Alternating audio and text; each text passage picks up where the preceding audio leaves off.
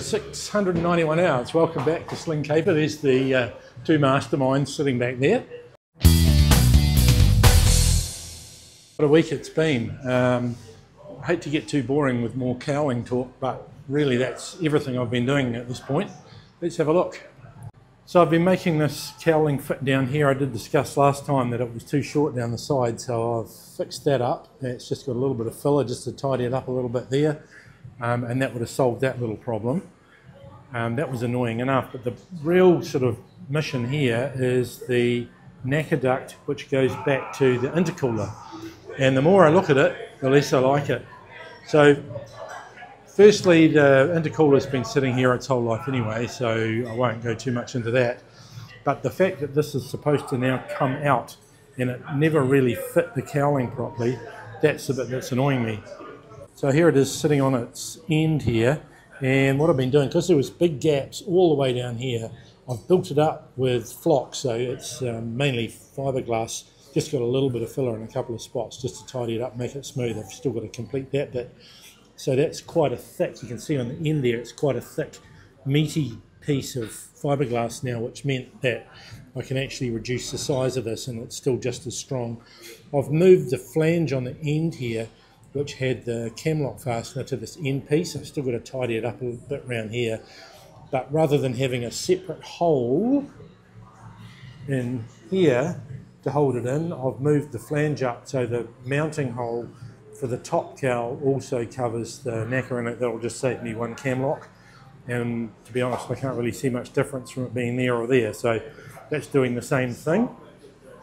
And this bit along here, I'm going to have to do work on here. That's just some filler. I've got to just take that off, and then I'm going to add fiberglass in there so I can round it more because the NACA inlets work better if this is actually more of an airfoil section rather than blunt. So I'll fix that up. If we look on the back of it, here's the big news. I've cut an awful amount off in here, and the reason why is because when this is closed, if I just hold that shut, it's extremely close to this um, valve cover, but it also interferes with the intake. You can see it been rubbing on there, and it's also been interfering with this um, valve hose. And even though it had cutouts, one of them there for the valve at the top and one on the bottom for the air inlet, it wasn't enough. So I'm completely reshaping it.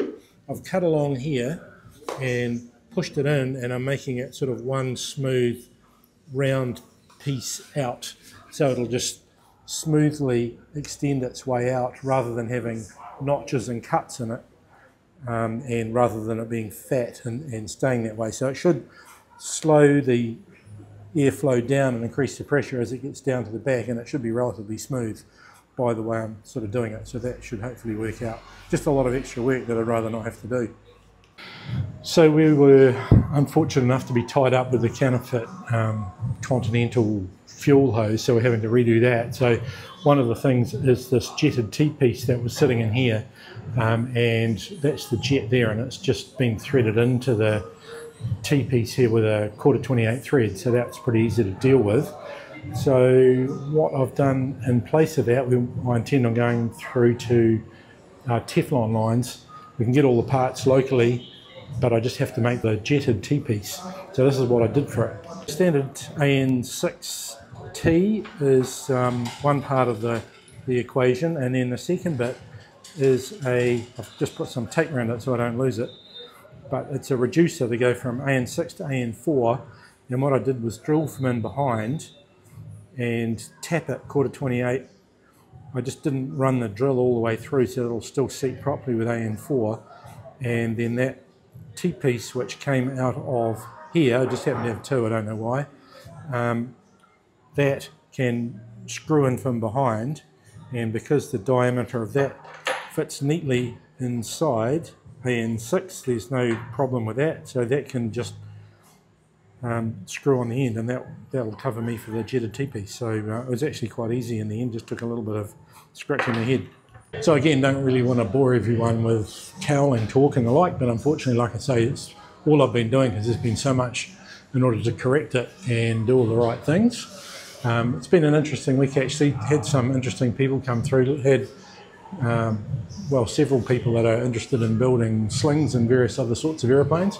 So it's been a good exercise for us to be able to be honest with them and so they can get some facts, or at least from our perspective.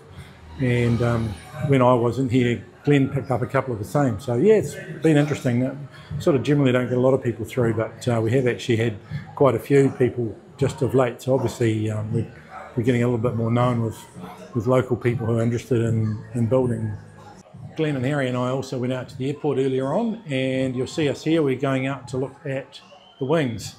Um, we're just we're just about to move them into a different hangar, and that's going to be where we do all the assembly when all of this goes off to get paint, and then we'll be uh, operating from the hangar out at the airport. So we just went and set all that up. But daily works.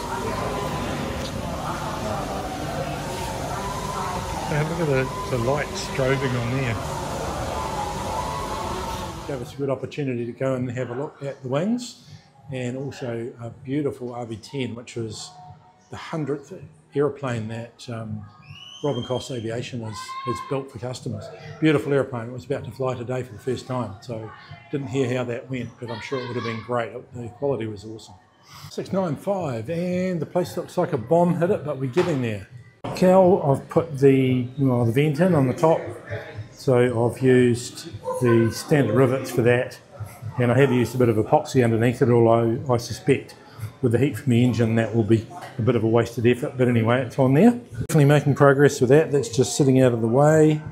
Uh, still a little bit of material to put on here and down here and uh, also just got to tidy up around the front here and needs a little bit more and just a little bit of filler here and there to tidy it up. One thing I noticed with the new cowl also is with the air cleaner on there, the NACA inlet that goes to the air cleaner um, didn't line up and in actual fact it was hitting the actuator here for the wastegate um, so it was sort of lining up down here so half and half and because it's only oh I don't know 20 25 millimeters in front that it doesn't really make it easy for a, even a scat to make a nice line into there. So I've redone a few things with that too. Here's the inside of this NACA duct. I've cut a V out of here and then pushed this as flat as I can. I've had to leave enough room in here to get the scat hose and a clamp in, which is just enough. But that lines up a lot better now with the with the air cleaner, and that should give it a nicer flow of air into the engine. Sitting up on its side like that, I've also added um, these mounts here for the oil cooler and the coolant. And because they've moved this NACA inlet, the standard latch interferes on here. And so it's gone to a new system now where it's got this hoop and a, and a piece sticking out the side that goes under the hoop. And then you just clip it up on that side. I actually quite like it. It seems to be quite a good system. It's also easier to start fitting these um, fairings on the inside that covers the mechanism. I've noticed that it interferes with the hooks on the back half of mechanism. Um, so that's going to need a little bit of work there. I've done on the pilot side, I've actually done that. So this one here still needs a little bit of work. So more fiberglass, great. Next things we're going to need to do is we're going to get the stabilizer and the fin back from the airport so I can fit the, the fairing just sort of basically sitting there and it's difficult to sort of really do much with it without the stabiliser and the vertical fin. One thing about it though, we'll note that as it's pressed down there, it has quite a nice fit at the front, but this bit here is quite high. Now, once the rib nuts are inserted into the skin here, that's going to give it about a millimetre gap all the way along. So that's kind of why I want to get all this back so I can get it to fit better.